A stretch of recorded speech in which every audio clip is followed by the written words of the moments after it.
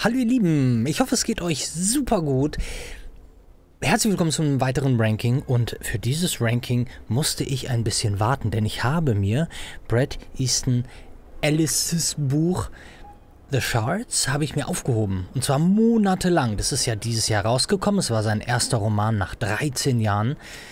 Wir hatten ja alle nicht mehr damit gerechnet und sind fest davon ausgegangen, dass Brad Easton Ellis nie wieder einen Roman rausbringt. Und jetzt, wo ich den letzten gelesen habe, es waren über 700 Seiten, ich habe kurz ein bisschen gebraucht, können wir endlich das Ranking aller Brad Easton Ellis Romane machen. Wer Brad Easton Ellis überhaupt nicht kennt und gar nicht weiß, wovon ich rede, ähm, ja, der sollte gut zuhören, denn ich habe auch vor, immer ein bisschen noch was über den Roman zu erzählen, was ich ja muss. Ich muss ja irgendwie rechtfertigen, warum der eine Roman da landet und der andere da. Aber versuche auch noch mal so ein bisschen auszuholen und was das auch Besondere daran war, dass nach 13 Jahren wieder ein Roman erschienen ist. Also, die meisten von euch kennen wahrscheinlich American Psycho, den Film. Ja, das war Brad Easton Ellis großer, großer ähm, Roman erst auf dem Index, der ihn dann, obwohl er sowieso schon weltberühmt war, aber echt nochmal auf den Olymp geschleudert hat und ihn zum Enfant terrible der äh, Popkultur, äh, der Popliteratur gemacht hat. So, und es ist nämlich so, dass wenn man sich mit seinen allerersten Büchern beschäftigt, unter Null, mit seinem Erstlingswerk, dann sieht man sofort, dass im Grunde genommen die deutsche Popliteratur, Kracht, Stuttgart, Bach und so, die hätten wahrscheinlich gar nicht angefangen zu schreiben, hätten sie hätte es Brad Easton Ellis nicht gegeben. Und ich weiß, dass die auch alle große Brad Easton Ellis Fans sind. Und Stucki hat auch selber gesagt, ja, nee, also ohne Brad nichts los. Und selber ein sehr großer Fan, der ihn aber auch schon getroffen hat im Chateau Marmont. Ja. Gut, ich würde sagen, wir machen das chronologisch vielleicht. Und da mich ganz oft die Frage erreicht, sag mal als Einsteiger, welchen Roman von Brad Easton Ellis sollte ich denn lesen? Das finde ich immer ganz schwer, weil jeder Roman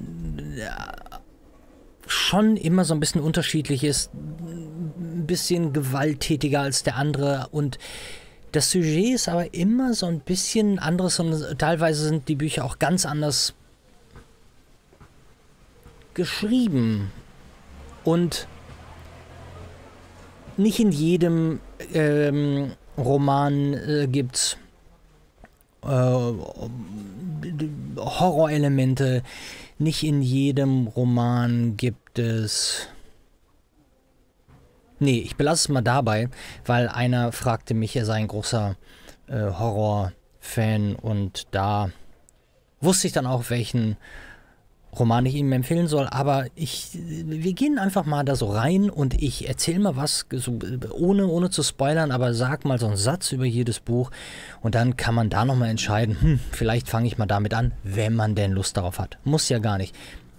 Bei mir, das wisst ihr, ist die Sache einigermaßen einfach. Es ist mein Lieblingsautor und immer wenn, ich, wenn Leute mich fragen, sag mir mal, welches dein Lieblingsbuch ist, so generell, dann nenne ich zwar einen anderen Autor, und zwar mein Lieblingsbuch ist Kill Your Friends von John Niven, aber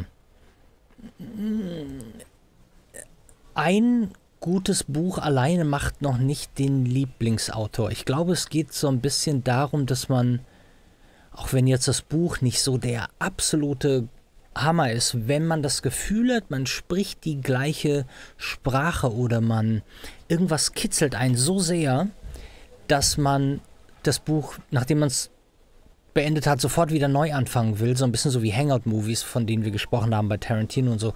Ich glaube, dass sowas macht dann einen Lieblingsautor zum Lieblingsautor. Mm, ja, so, wir fangen einfach mal an. Das ist alles so ein bisschen klein. Ich versuche das mal größer zu ziehen. Ach so, wir müssen vorher klären, welche Kategorien wir haben. Wir haben äh, plus das Gewix, äh, ge plus das gewisse Extra, dann haben wir Meisterwerk, dann haben wir sehr gut, dann haben wir cool und dann haben wir schlecht. Eigentlich ist das höchste Meisterwerk bei mir, aber da ich so viele Bücher von dem Herrn Alice gut finde, gibt es manche Bücher, die nochmal das gewisse Extra haben, wo ich dann selber darüber nachdenken muss, boah, warum fängt mich das so? Und ja, und da gibt es eine, wenn hier sich jetzt gerade Bret Easton Ellis Fans rum äh, dann wird es für die eine große Überraschung geben, denn äh, da bin ich, glaube ich, mit niemandem einer Meinung. Also, wir fangen mal an mit seinem Erstlingswerk. Das übrigens, was ihr hier seht, sind die amerikanischen Cover. Das einzige Cover, was bei uns genauso aussieht, ist, glaube ich, The Shards, weil das habe ich selber da reingebaut. Und ja. Ich glaube schon, nee, Luna Park sieht auch so aus, aber ist auch egal. Wir fangen mal an mit Brad Easton Ellis unter Null.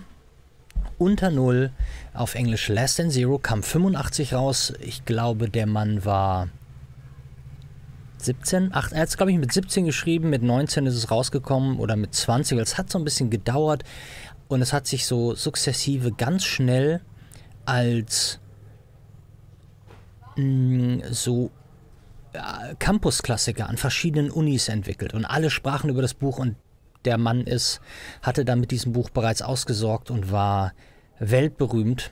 Mit seinem Erstlingsroman kann man sich nur wünschen. Es ist nicht besonders dick. Ich weiß nicht genau, wie viele Seiten. Ich würde sagen, irgendwas zwischen 180 und 230, also eher so ein dünneres Ding. Und, aber ich weiß nicht genau. Ich habe es hier liegen. Es liegt sogar da vorne zusammen mit den anderen Büchern. Aber ja, ich tippe mal so, irgendwas um die 200 Bücher. So, und es geht um Clay, einen College-Studenten, der so ungefähr so alt ist wie Brad Easton Ellis. Es gibt auch viele Parallelen und der kehrt in seinen Ferien zurück nach Los Angeles und es geht um so eine ganz, so ein bisschen abgestumpfte, monotone Erzählweise über die dekadente Welt von ihm und seiner Freunde, um Drogen, um Beziehungen, um moralischen Verfall. Und diese Art, so ganz distanziert, nihilistisch und kalt zu schreiben, das packt mich jedes Mal nach ein paar Sätzen so sehr, dass ich mir denke, ich will gar keine anderen Bücher lesen. Das ist, das hat so eine Anziehungskraft. Ich kann das ganz, ganz, ganz schwer erklären, aber unter Null ist bei mir nicht nur ein Meisterwerk, sondern hat auch das gewisse Extra. Ja. Ähm, so, dann kam das zweite Buch und das ist das Cover hier. Man kann es ganz schwer lesen, was da drauf steht. Jetzt könnt ihr es vielleicht sehen, hier steht The Rules of Attraction. So, The Rules of Attraction heißt auf Deutsch äh, einfach unwiderstehlich. Der Film wiederum, der heißt Die Regeln des Spiels sollte sich quasi wieder auf den Buchtitel so ein bisschen beziehen. Aber wenn ihr das Buch lesen wollt, auf Deutsch heißt das Buch einfach unwiderstehlich. Und einfach unwiderstehlich, ehrlich gesagt, ist in meinen Augen cool. Vielleicht auch sehr gut. Ich, also es ist zwischen cool und sehr gut. Mich stört gar nicht so richtig daran, aber es ist so ich glaube, es, es sind zu viele Charaktere, die da ihre Story erzählen. Ähm, ja, und erzählt von äh, verschiedenen College-Studenten, die am, am Camden College und Sean Bateman ist eine der Figuren. Der große Bruder, der taucht nachher dann nochmal in American Psycho auf. Äh, Paul Denton, Lauren Hind oder Hint, ich weiß nicht mehr so genau. Und es geht wieder um die sexuellen Beziehungen zwischen den Studenten, ganz viel Drogenkonsum und über so ein bisschen Angst vorm Leben. Ne? So, ja, desillusionierte Lebensansichten. So ein bisschen so, was da noch kommt. Und man hat eigentlich das Gefühl, dass Brad Easton Ellis immer darüber schreibt, was auch er gerade erlebt und was, was ihm passiert. Er ist äh, ein ganz kleines bisschen jünger in unter Null und dann sind die Charaktere slightly älter in einfach unwiderstehlich dann am College. Ich glaube auch teilweise dann alle in ihrem letzten Jahr. Das, ich weiß es nicht so genau, aber ich glaube, es sind keine Freshmen. Ich glaube, es sind so, ja, die sind schon ein bisschen länger dabei. Es ist gehört, also dieser Roman ist, glaube ich, der ist der, den ich am er ist am längsten her, dass ich den gelesen habe. Ja, also so richtig ist mir auch nicht mehr alles so so im Gedächtnis geblieben. Aber ja, es ist cool, vielleicht sehr gut, aber weiß nicht so. So, dann kam sein absoluter Oberknaller raus, das war American Psycho. Das ist für mich ein Meisterwerk. Aber mehr erstmal nicht. Und erklären wir gleich. Also American Psycho, da geht es um Patrick Bateman, einen New Yorker Investmentbanker und der ein Doppelleben führt als Serienkiller. Oder vielleicht auch nicht. Ähm, das war jetzt nicht, um am Spoilern vorbeizukommen, aber ihr werdet sehen. Und dieser Film hat eine, das ist ganz abgefahren. Es, man könnte sagen, es ist eine Kritik an der 80s Konsumgesellschaft äh, und auch an der also keine Kritik an der Popkultur, sondern nimmt die ganze Popkultur, Popkultur sehr auf. Viele Filme, viel Musik, viele Produkte, viel Markenfetischismus. Und das kann aber, also man kriegt eher das Gefühl, vielleicht findet Brad Easton Ellis das aber auch alles sehr, sehr, sehr geil. Und man verliert sich so ein bisschen in dem, dass man das auch selber ganz schön geil findet. Ähm, äh, nicht die natürlich nicht die Gräueltaten und die Gewalt in den Dingen, aber dieses, was so verführerisch ist, dieses Glitzer und Glanz in der in New York in den 80ern, aber irgendwie ist alles so leer und so also so wie Konsum ja eigentlich auch ist. Es gibt genug Gründe, ähm, danach zu schmachten und, und jeder mit Verstand hat auch genug Gründe, das abgrundtief bescheuert zu finden. Ja, und so ist American Psycho. Und Fakt, dass American Psycho in New York spielt und nicht in LA, hat für mich schon so einen kleinen, nicht Minuspunkt. Es wäre unfair dem, dem Buch gegenüber, aber Brad Easton Ellis hat eine Art, über seine Heimat, über LA zu sprechen. Ja, er ist selber äh, im, im Valley aufgewachsen behütet, also quasi hm, kurz hinter Hollywood, hinter den Bergen. Und ja, eine ganz, ganz besondere Erzählweise. Nicht, dass er jetzt nicht schreiben könnte, wenn er über New York redet, aber es ist schon. Ähm, es ist irgendwie was anderes. So, dann kam ein Roman raus, der irgendwie nicht so wirklich Roman ist. Und zwar war das The Informers. Heißt auch auf Deutsch, glaube ich, Die Informanten. Ich bin mir, bin mir ziemlich sicher, oder hat er wieder einen bekloppten Namen bekommen? Ich glaube nicht. Ich glaube, der heißt die Informanten. Und äh, The Informers ist nur. Pass auf, ich mache das mal so äh, für den Fall, dass wir von allem auch was haben. Es ist nur cool. Äh, für mich ist es der. Ja, es ist das schwächste Buch vielleicht. Oder das zweitschwächste äh, ist nicht ganz einfach zu erklären, weil im Grunde genommen, also das, das, was die Geschichten zusammenhält, ist LA. Spielt alles in LA und manche begegnen sich auch in den Stories. Aber es ist halt eine einfach nur auch wieder sowas, so äh, Stories und Menschen beobachten und es geht um, oh, ich kann mich an, an Graham und Martin erinnern, ich glaube der eine ist ein Filmproduzent, der andere ist ein, sind alles irgendwie reiche Kids und Ah ja, er schreibt doch zum ersten Mal aus der Sicht einer Frau. Ich habe aber vergessen, wie die heißt. Nee, das weiß ich nicht. Aber es geht wieder um diese moralische Verdorbenheit. Es geht um die Lehre. Äh, um, die, um dieses Gefühl, dieses Gefühllose. Und es ist schon alles wieder so da, dass man, wenn man anfängt zu, zu lesen, man merkt, oh, ich habe irgendwie habe ich das vermisst. Aber es fügt sich so nicht so richtig zu einem zu einem Ganzen.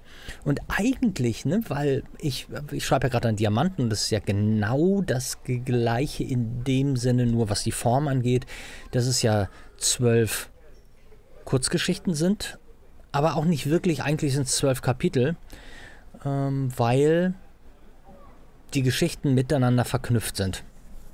Und das mag ich eigentlich und das fand ich auch ganz geil. Aber ich finde auch, ich finde den Anfang furios und dann finde ich nachher ein paar Geschichten irgendwie nicht so gut. Werde ich demnächst aber auch nochmal reinlesen. Ich habe es letztes Jahr nochmal auf Englisch gelesen, habe es mir gekauft in LA. Aber ja, da würde ich es jetzt erstmal hinpacken. So, dann kam ein absolutes Brumswuchtwerk, das hieß Glamorama. Und Glamorama, das war auch so richtig, okay, wir machen, wir holen, knüpfen nochmal an den Erfolg von American Psycho an und äh, Glamorama ist aber bei mir nur bei cool. Und ich würde mal sagen, hier. Und das hat einen Grund, also ich muss sagen, als ich Glamorama das erste Mal gelesen habe, bis zur Hälfte, habe ich gedacht, oh, oh, oh, himmlisch, total geil. Weil der hat das so auf die Spitze getrieben, erstmal so Staccato-Form zu schreiben, ohne Punkt und Komma. Wahnsinnig dialoglastig auch. Und dieses, wie der Name schon sagt, Glamour und Fame von, von Menschen, alles so auf die Spitze geschrieben. Es geht um äh, Victor, ist der, der Hauptcharakter, das ist ein Male-Model. Der, äh, was sagt er, hat er mal gesagt, der sieht aus wie er selber meint, er würde aussehen wie Keanu Reeves in, als junger Mensch. Und der möchte es eigentlich in der Modelwelt schaffen und wird dann in so eine terroristische Vereinigung, in so ein Paranoia-Ding reingezogen. Und ich glaube, wenn man mal so guckt oder, oder was denn die Zusammenfassung, die Synopsis sein soll, ich glaube, dann war das so, dass das eine terroristische Organisation unter dem Deckmantel einer Modelagentur war. Glaube ich. Das Buch wird fast inkohärent, finde ich, ab der Mitte. Es ist wirklich so, wo ich meistens denke, was habe ich irgendwas verpasst? Was ist denn hier los?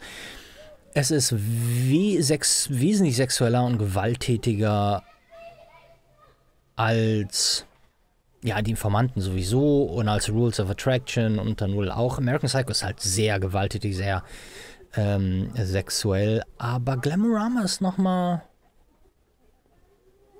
Ja, ist nochmal ein Stück härter, finde ich fast. Ja, aber irgendwie weiß nicht, ich finde es ist, es wird, es ist, es ist an, ein bisschen anstrengend. Ich finde es ein bisschen anstrengend. Ist auch wieder in New York. Hm, ja, Geht so.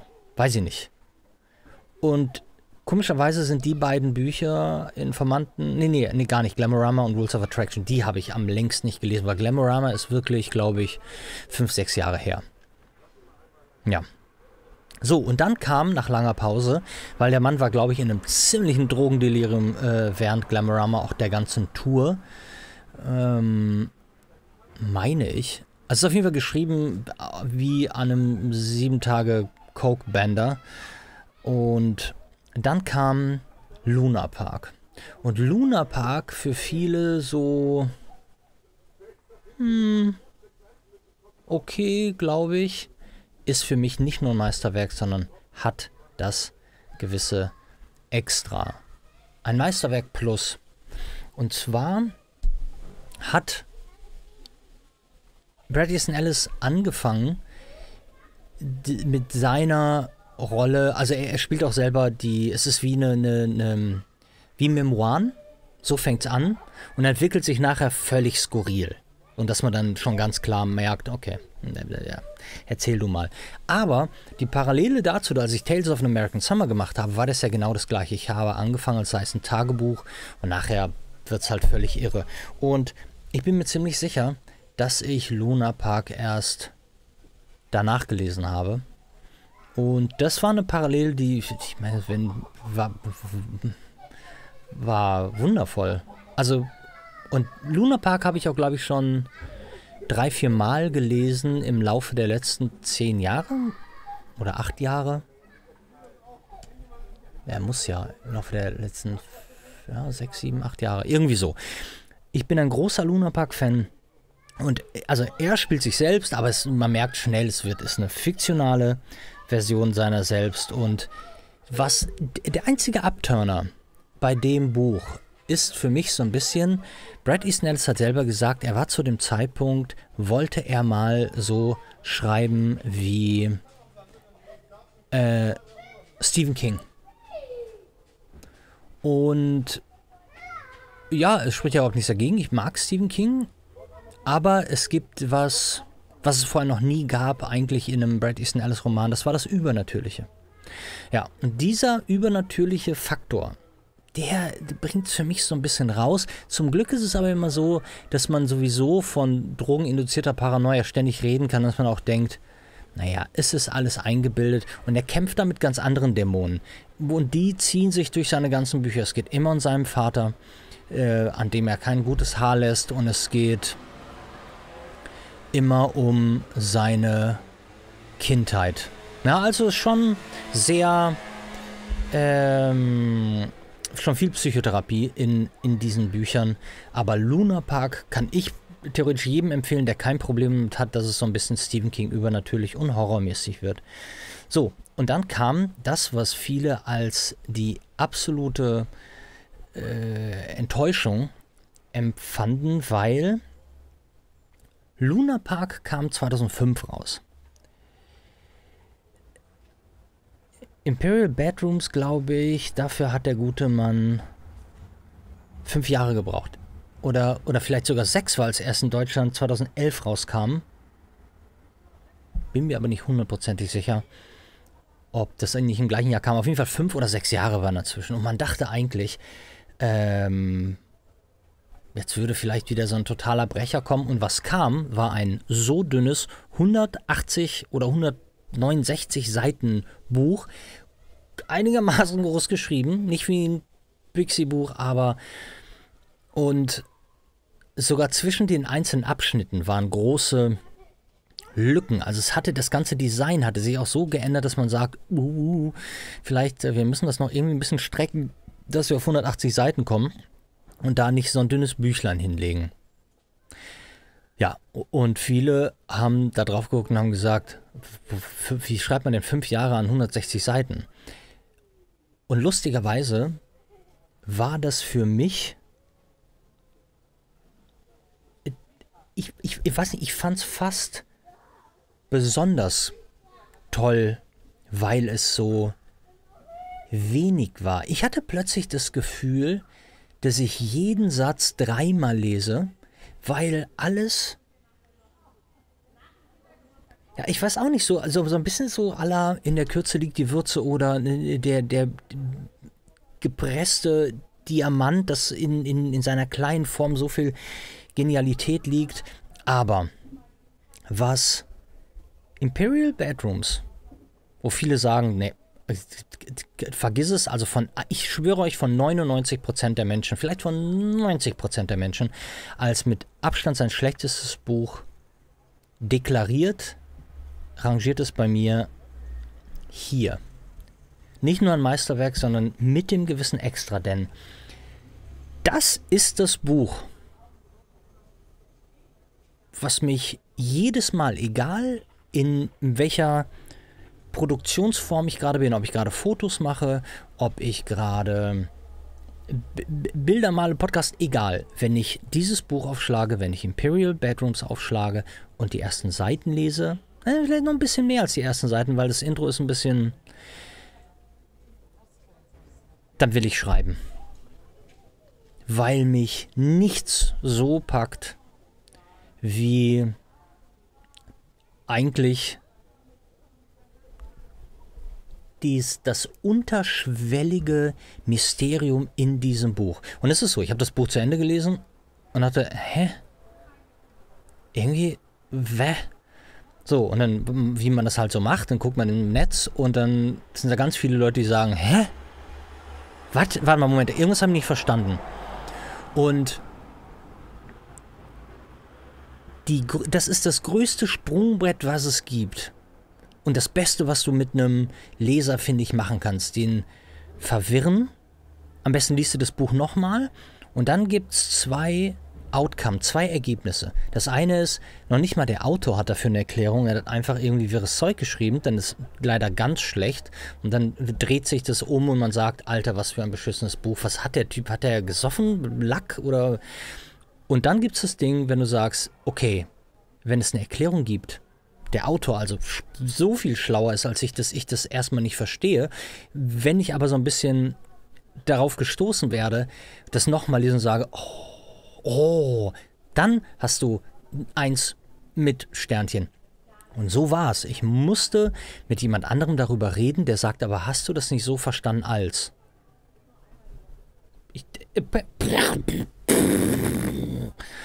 und dass ich dann kapiert habe, wer, also ich weiß nicht, ich spoiler nicht, aber, weil das passiert ja schon auf den ersten Seiten unser Hauptcharakter, der der gleiche, achso, das hm, ganz wichtig, ich muss noch sagen, Imperial Bedrooms ist die offizielle Fortsetzung von seinem allerersten Buch unter Null. Es sind die gleichen Charaktere, alles nur 30 Jahre später. Ja, oder 25 Jahre später. Ähm, und genau darum geht es auch. Es geht wieder um Clay, der nach LA zurückreist, nachdem er die ganze Zeit in New York gelebt hat und trifft auf seine alten Freunde.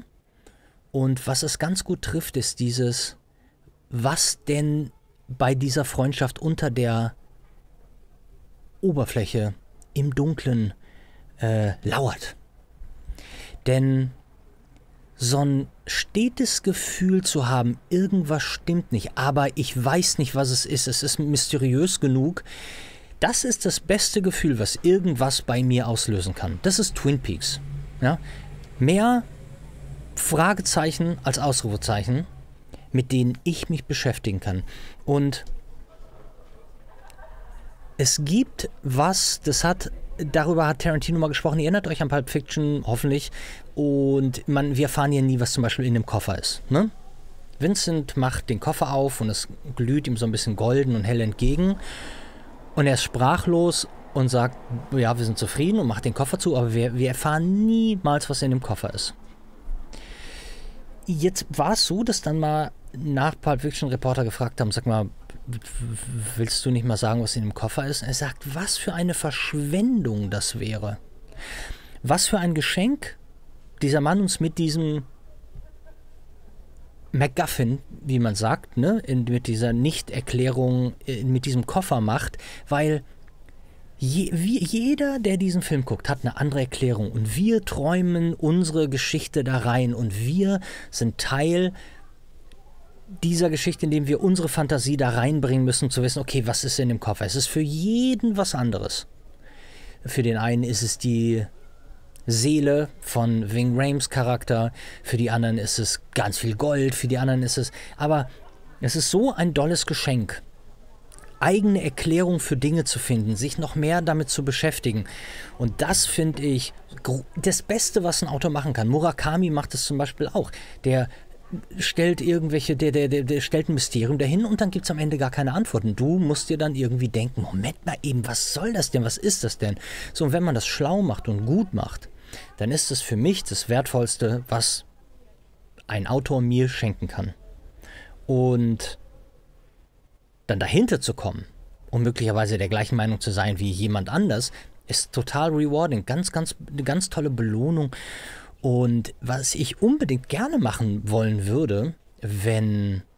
Ich kann es jetzt nicht machen, weil es wäre der, der absolute Spoiler. Aber es wäre total geil, irgendwie mal, wenn, wenn ich wüsste, ihr habt alle das Buch gelesen und 90% von euch sagen, Alter, wer saß in dem Wagen, der Clay die ganze Zeit verfolgt hat? Dann könnte ich jetzt sagen, ich weiß es und ich kann es euch sagen. Und dann sagt ihr, oh, oh, okay. Oder er sagt, ja? Oder er sagt, hä? Keine Ahnung, aber ich würde so gern, so gern, so gern, so gern das Ende erklären und was genau da passiert ist. Aber gehen wir jetzt mal davon aus, man versteht es nicht. Die Stimmung, die es bei einem, diese Beklommenheit, Beklemmtheit, Beklommenheit, ne? Ja, diese Beklemmung, die da bei einem bleibt. Geiler geht's nicht. Also das ist das, und das hat ein Buch geschafft, was andere Leute für einigermaßen nichtig halten. Und das ist ganz abgefahren, weil wir ja jetzt gleich zu dem Buch 13 Jahre, also ne, er hat dann 13 Jahre nicht geschrieben, aber Bretton Easton Ellis hat in der Zwischenzeit, 2019, also schon mal neun Jahre später, ein Buch rausgebracht, das heißt White. Und White ist ein, ähm, kann man fast sagen, ist es denn sehr gut, ist es cool? Vielleicht ist es auch einfach nur cool, weil... Vielleicht so? Vielleicht ist es auch nur cool, weil... Er erzählt, es ist ein... Ähm, was ist denn? Ein Essay ist eine... Also es ist ein Sachbuch, kann man sagen. Es ist kein Roman auf jeden Fall. Es ist eher seine Beobachtung von von dem, wie sich die Welt verändert, hin zu, zu diesem ganzen Woken-Ding. Also es wird auch vielen Leuten nicht gefallen, die jetzt gerade sehr viel Gefallen an unserer woken Gesellschaft finden, aber viel auch, was Helikoptereltern angeht und wie man damals Kindern nicht so viel verboten hat und aus denen trotzdem was geworden ist und wie viel man doch freier war und wie wenig wir uns bei manchen Dingen gedacht haben und wie es auch, wie gut es fast der Kunst ging, dass Horror, auch Pornografie, alles nicht so zensiert wurde und versucht, man versucht hat, die Menschen davor zu schützen.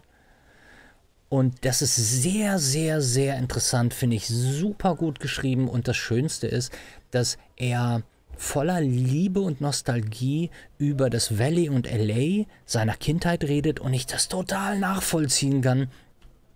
Und ja, deshalb fand ich das, ich fand es eigentlich sehr gut. Aber es sind noch ein paar Sachen drin, hm, so ein bisschen wie er so unbewusst vielleicht auch und, und ungeschickt Trump verteidigt. Komm, cool. Wir machen es aber cool ganz nach vorne. Also ich fand es cool zu lesen. So, und jetzt kommt der absolute Hammer. Ich habe nie wieder damit gerechnet, dass der Mann ein Buch schreibt. Ähm, Brad Easton Ellis hat auch zu Stucki wohl mal gesagt, so hat Stucki erzählt, Alter, das mit dem Buchschreiben ist durch. So, und da Lux mussten wir alle schlucken. Und dann kam The Shards raus. Und zwar dieses Jahr und The Shards ist so, fast so ein bisschen wie die Weiterführung von Luna Park, weil es ist wieder er selbst, ist der Hauptdarsteller, aber er verkauft es noch viel mehr als das ist das, was wirklich passiert ist, als ich 17 Jahre alt war. Und das Buch ist 749, 760, 700 20, keine Ahnung, aber über 700 Seiten lang. Ich habe es am Samstag beendet und ich muss selber mal gucken, für mich jetzt, ob es ein Meisterwerk ist oder das gewisse Extra auch hat. Möglicherweise, ich muss sogar hier entschieben, hallo, ist es... Ich habe meine Kritikpunkte bei Insta schon genannt. Also, ich finde, es ist wirklich 300 Seiten zu lang in der Mitte. Ich werde sofort nochmal auf Englisch lesen. Vielleicht revidiere ich meine Meinung, sage, es ist nur noch 100 Seiten zu lang. Aber was zum ersten Mal in diesem Buch passiert, ich weiß nicht, ob es Altersmilde ist, der Mann redet über Gefühle. Und an sich könnte man sagen, ist wunderschön, daraus äh, bestehen Bücher. Nicht die Bücher, die ich lese oder lesen will. Zumindest nicht von Brad Easton Ellis. Es ist mir viel zu viel zwischenmenschliche Substanz, viel zu viel. Es ist nicht kalt genug und äh, unattached, un, un, un, unverbunden. Also es ist, es fehlt einfach was von dieser Abgestumpftheit die so, so wichtig, die er, die er kreierte. Das ist sein Ding. Und die kommt aber, das kann, so viel kann ich verraten, ohne zu spoilern, die kommt nachher wieder in dem Buch. Und vielleicht ist es auch ganz schlau zu sagen, so war ich vorher und das hat dazu geführt, dass ich ab da so war. Kann sein, dann ist es sogar ein Meisterwerk plus. Aber was das gewisse Extra hat, definitiv. Vielleicht müsste ich es auch hier packen.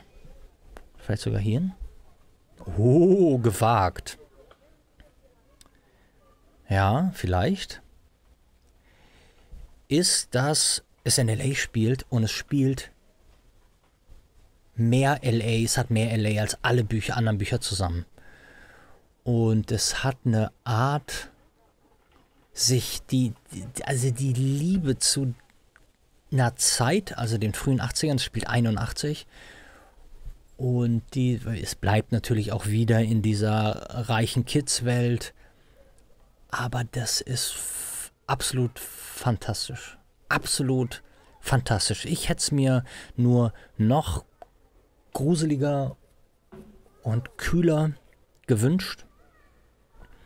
Und der Kontrast ist irgendwie der, der, der um ums einen harten Kon als also wenn man sagen würde, es gibt so viel Wärme und so viel Kälte in dem Buch, ist zu viel Wärme da, um es eigentlich Kontrast zu nennen, finde ich fast. Oder ich sehe die Kälte in den ersten 400 Seiten nicht. Ich weiß es nicht. Also, das würde ich sagen, ist mein ja, lassen wir das so? Ja, komm, wir lassen das so. Das ist mein, meine Rangliste aller Brad Easton Alice Romane. Und ja, unheimlich gerne. Schreibt doch mal in die Kommentare, was ihr so denkt und was ihr davon haltet. Und ich freue mich sehr auf unser nächstes Ranking, ihr Lieben. Achso, und wen es noch interessiert, ich glaube, es gibt die News, dass für HBO oder na, den Sender, ehrlich gesagt, da bin ich mir nicht hundertprozentig sicher. Aber die sind mitten in der Vorbereitung, aus The Shards eine Serie zu machen. Ja, und das ist natürlich immer gut. Bis jetzt ist bis auf American Psycho nie so richtig was geworden von den Verfilmungen. Aber äh, wir warten mal ab. Also unter Null ist ein geiler Film für sich, aber das hat halt null mit der Geschichte mehr zu tun. Und American Psycho ist auch eine wunderschöne, ist ein wunderschöner Film für sich geworden. Auf jeden Fall. Aber wir sind sehr gespannt, wie The Shards als Serie wird. Ihr Lieben, wir sehen uns zum nächsten Ranking.